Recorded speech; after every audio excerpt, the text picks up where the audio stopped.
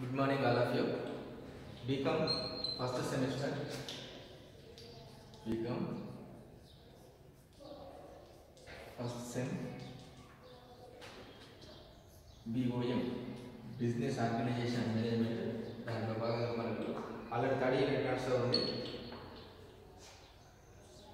So ఈరోజు చెప్పబోయే topic వచ్చేసి functions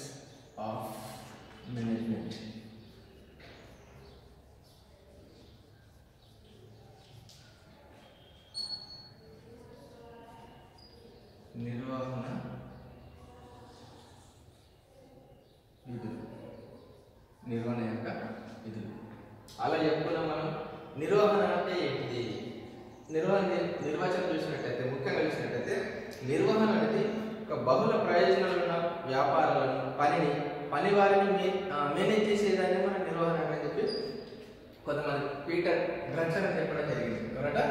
Peter Drucker Peter Drucker ఈయన ఏమంటాడు? ఏమంటాడు? బహుళ ప్రయోజనాలున్న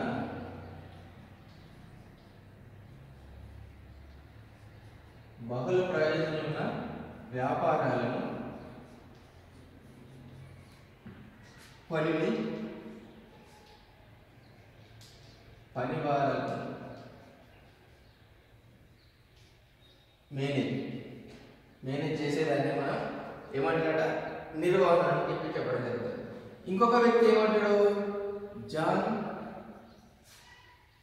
ఎఫ్ఎం ఈయన ఏమంటాడంటే తక్కువ ఖర్చుతోటి ఎక్కువ ప్రతిఫలం పొందడమే మంచి నిర్వహణ అని చెప్పి జార్జ్ ఎఫ్ఎం అనే వ్యక్తి చెప్పడం అనేది జరుగుతూ ఉంది. ఇంకొక వ్యక్తి ఏమంటాడంటే ఇతరుల చేత ఇతరుల చేత పని ఇతరుల చేత పనిని చేయించి అనుకున్న లక్ష్యాలను సాధించడం కోసం ఏర్పాటు చేసిందే నిర్వహణ అని చెప్పి ఇంకో వ్యక్తి చెప్పడం జరిగింది. అది ఎవరంటే కుడ్జు ఎవరట కుడ్జు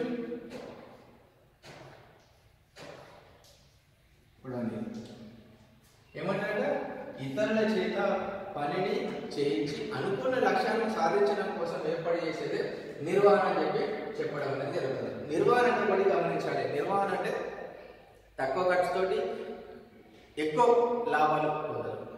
తక్కువ ఖర్చుతోటి ఎక్కువ రాబడిని పొందడమే మంచి నిర్వహణ కింద చెప్పచ్చు.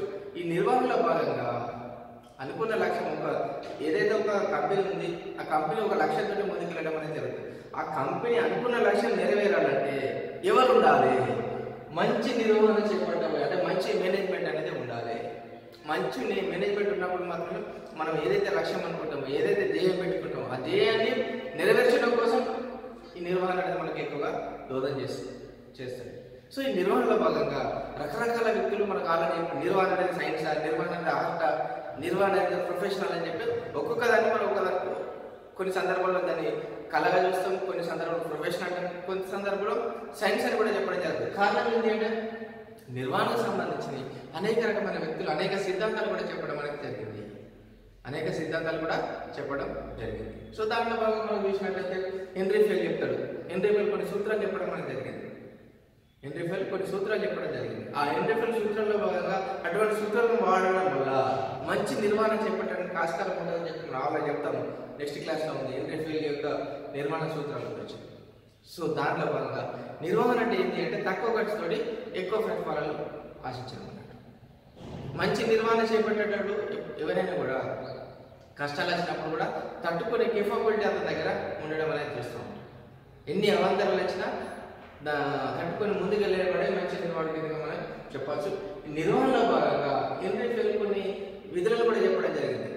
నిర్వహణ యొక్క విధులను కూడా చెప్పడం జరిగింది. ఆ నిర్వహణ విధులను చూసినట్టయితే ముఖ్యంగా చూసినట్టయితే ఏంటి అంటే ప్లానింగ్ ప్రణాళిక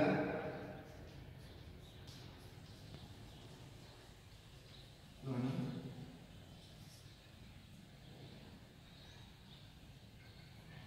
వ్యవస్థీకరణ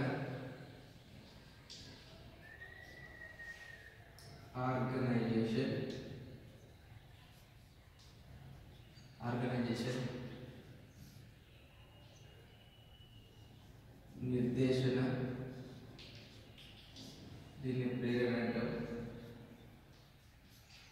motivation motivation fourth point వచ్చేసి సిబ్బంది సిబ్బంది సరేనా దీన్ని మనం ఏమంటాం ఇంకా స్టాఫింగ్ అంటాం. దీన్ని ఏమంటాం మనం? స్టాఫింగ్ అని చెప్పి చెప్పడం. జరుగుతుంది తర్వాత ఏంటి? పాయింట్ నియంత్రణ. నియంత్రణ. నియంత్రణ నుంచి అనేది కంట్రోలింగ్ కంట్రోల్ చూడండి. నిర్వహణ యొక్క విధులు ఏంటి కదా? ప్రణాళిక ప్లానింగ్ అండ్ ఆర్గనైజేషన్ నిర్దేశన ప్రేరణ మోటివేషన్ సిబ్బందికరణ. నెక్స్ట్ నియంత్రణ అంటే కంట్రోలింగ్ అంటే నియం మంచి నిర్వహణ చేపట్టేటువంటి ఇటువంటి విధులన్నింటినీ కూడా సక్రమంగా యూజ్ చేయాల్సిన అవసరం అనేది ఉంటుంది. సో ఒక్కొక్క దాని గురించి చూసినట్లయితే మొట్టమొదటిగా ప్లానింగ్ ప్లానింగ్ ప్లాన్ ఏంటిది? మనం అనుకున్న లక్ష్యాలను సాధించడం కోసం ముందు వేసుకున్న దాన్ని మనం ఏమంటామంటే ప్లాన్ అంటే పని చేయడానికంటే ముందే ఒక విధానం రచించుకునేదాన్ని మనం ప్లానింగ్ అంటాం. అంటే పని చేయడానికంటే ముందు రచించుకునేదాన్ని మనం ప్లానింగ్ అంటాం. అంటే ఏదైనా ఒక నిర్వహణ చేపట్టే పోయేవాడు వాడు ఏం చేస్తాడు? అనుకున్న లక్ష్యాలు అనే యొక్క ధ్యేయాన్ని నెరవేర్చడం కోసం ఒక ప్లానింగ్ ప్లానింగ్ అనేది ప్రణాళిక అనేది కంపల్సరీగా ఉండాలి. ఆ ప్లాన్ లేదంటే సక్సెస్ అవుతారంటే కాలేదు. అంటే ఒక విధానం అనేది కంపల్సరీగా ఉండాలి. ఎటువంటి విధానం అవలంబించాలి? ఎటువంటి పద్ధతులు వాడాలి? అవన్నీ కూడా మనం దేంట్లో చెప్పుకోవడం జరుగుతుంది అంటే ప్లానింగ్లో చెప్పుకోవడం అనేది జరుగుతుంది ప్లానింగ్ లేకపోతే ఎప్పుడు కూడా మనం సక్సెస్ అయితే హండ్రెడ్ పర్సెంట్ కాదు. ప్లానింగ్ అనేది కంపల్సరిగా ముఖ్యమైనది మనం చెప్పవచ్చు చూడండి. అంటే మన వ్యవస్థ అనేది ఏ రకంగా ఉండాలి? మన ఆర్గనైజేషన్ మన సం మన సంస్థ అనేది ఏ రకంగా ఉండాలి? ఎట్లా ఉంటే మనం సక్సెస్ అవుతాం అవన్నీ కూడా మనం దేంట్లో చూసుకుంటామంటే ప్లానింగ్లో చూసుకోవడం అనేది జరుగుతూ సో దాని తర్వాత చూసినట్టు నెక్స్ట్ ఏం చేయండి? అంటే ఏదైనా సమస్య వచ్చింది సమస్య నుంచి కట్టుకోవాలంటే ఏమని ప్లానింగ్ అనేది కంపల్సరీగా ఉండాలి. ఏ రకంగా అయితే మనం సక్సెస్ అవుతాం అన్నీ కూడా మనం దేంట్లో చూసుకుంటామంటే ప్లానింగ్లో చూసుకోవడం జరుగుతుంది. ఏదైనా అనుకోని సంఘటన జరిగింది సో అటువంటి సందర్భంలో మనం ప్రత్యామ్నాయ విధానాన్ని కూడా మనం ముందే రచించుకోవాలి. ప్రత్యామ్నాయ విధానాన్ని కూడా మనం రచించుకోవాలి. ప్రత్యేక ఆల్టర్నేట్ ఆల్టర్నేట్ అనేది మనం ఏం చూసుకుంటాం? ప్లానింగ్లో తీసుకోవడం అనేది జరుగుతూ ఉంటుంది. ప్లానింగ్లో జరుగుతూ ఉంటుంది. నెక్స్ట్ చూసినట్టయితే వ్యవస్థీకరణ. నెక్స్ట్ చూసినట్టయితే వ్యవస్థీకరణ.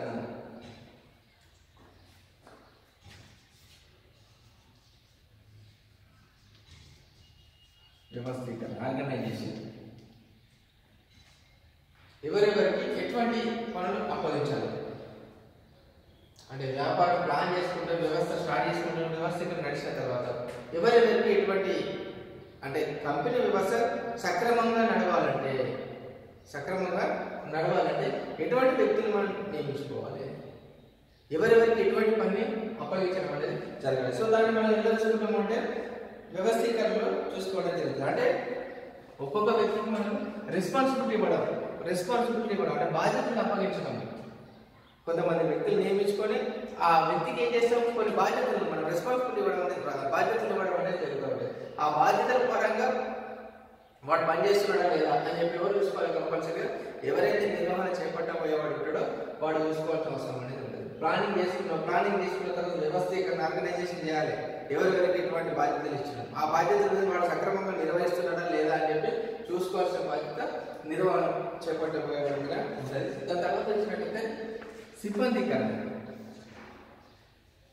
సిబ్బందీకరణ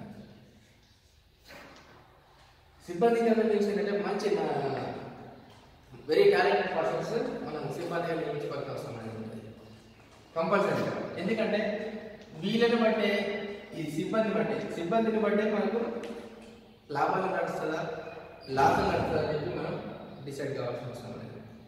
అంటే మంచి సిబ్బందిగా మంచి సిబ్బందిని నియమించుకోవడం వల్ల వాళ్ళు ఎప్పుడు కూడా అన్ని విషయాలు కూడా దేనికోసం కృషి చేస్తూ ఉంటారు అంటే కంపెనీ అభివృద్ధి కోసం ఎక్కువగా పాటుపడడం అనేది జరుగుతూ ఉంది అంటే వెరీ ఎడ్యుకేటెడ్ పర్సన్స్ తీసుకోవాల్సిన అవసరం అనేది ఆ సిబ్బంది ముఖ్యంగా మనం ఏదైతే ప్లాన్ చేసుకుంటో ఆ ప్లాన్ సక్రమంగా నడవడం కోసం ఎవరు దోహదం చేస్తారంటే సిబ్బంది స్టాఫ్లకి నుంచి చేయడం అనేది జరుగుతూ ఉంటుంది.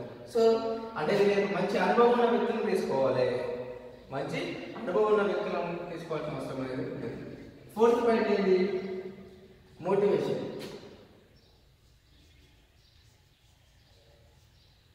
ప్రేరణ. మోటివేషన్ అంటే చూడండి ఎన్ని ఉన్నప్పటికీ కూడా కింది వ్యక్తుల పైన ప్రేరణ అనేది కంపల్సరీగా ఉండాలి. మంచి మోటివేషన్ ఉన్నప్పుడు మాత్రమే మనం అనుకున్న లక్ష్యాలను నెరవేర్చడం కోసం మనం దోహదం చేస్తాం. అంటే మనం అనుకున్న లక్ష్యాలు నెరవేరాలి. నెరవేరాలంటే ఏం చేసి కింది యొక్క సభ్యులను కింది యొక్క అధికారులను నిర్వహణ చేపట్టేవాడు ఎప్పుడు కూడా మోటివేషన్ చేస్తూ ఉండాలి. ప్రేరణ నింపుతూ ఉండాలి. తన యొక్క విధానాలు కానివ్వండి లేకపోతే తన యొక్క మాటల ద్వారా కానివ్వండి ప్రేరణ మాత్రమే వాళ్ళు కసిగా పనిచేయడం అనేది జరుగుతూ ఉంటుంది. సో మోటివేషన్ అనేది వెరీ వెరీ ఇంపార్టెంట్ కింద మనం చెప్పచ్చు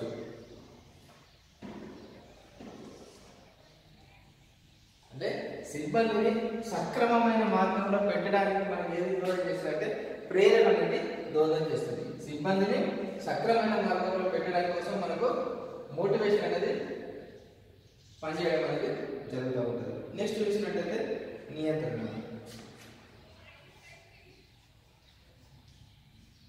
నెక్స్ట్ ఏంటి నియంత్రణ. సో నియంత్రణలో చూసినట్టయితే వివిధ కార్యక్రమాలు అమలు చేయాలంటే కంట్రోలింగ్ అనేది కంపల్సరీగా ఉండాలి. అలా కంట్రోల్ చేయనట్టయితే విచ్చలవిడితనం పెరిగిపోవడానికి ఆస్కారం ఉంది. పని చేయరు వాళ్ళకి పని చేయాలంటే కంట్రోలింగ్ సిస్టమ్ అనేది ఉండాలి. సో కంట్రోలింగ్ సిస్టంలో భాగంగా మనం ఫోర్మెన్షిప్ను ప్రవేశపెట్టాల్సిన అవసరం అనేది ఉంటుంది. ఫోర్మెన్షిప్ అంటే ఒక వ్యక్తిని ఇచ్చేసి ఆ కొంతమంది వ్యక్తుల సమూహంలో ఆ వ్యక్తి ఏం చేసే వాళ్ళందరినీ కంట్రోల్ చేయడం అనేది జరుగుతుంది. సో నియంత్రిస్తాడు. అట్లా నియంత్రణ అంటే ఏంటి? అంటే కంట్రోల్ సిస్టమ్ అనేది ఉండాలి. పని చేసే విధానంలో వాళ్ళు కరెక్ట్ చేస్తున్నారో లేదా? ఎప్పుడు కూడా వాళ్ళ పైన నిఘా అనేది ఉండాలి. నిఘా ఉన్నప్పుడు మాత్రమే మనం అనుకున్న లక్ష్యాలను నెరవేర్చడం కోసం మనం ఎక్కువగా దోహదం చేస్తాం అంటే నిర్వహణ యొక్క విధులు చూసినట్లయితే ఈ ఐదు విధులు మనం చూడవచ్చు ఇంకా ముఖ్యంగా లూథర్ కల్లిక్ లూథర్ గల్లి కొన్ని విధులు కూడా చెప్పడం జరిగింది. కొన్ని విధులను చెప్పడం జరిగింది. దీన్నే మనం ఏమంటామంటే పోస్ట్ కార్డ్ కింద చెప్పచ్చు పోస్ట్ కార్డ్ కింద మనం చెప్పచ్చు సో దీన్ని చూసినట్లయితే P O S D COR planning organization, staffing, organization and staffing. Next is the directing,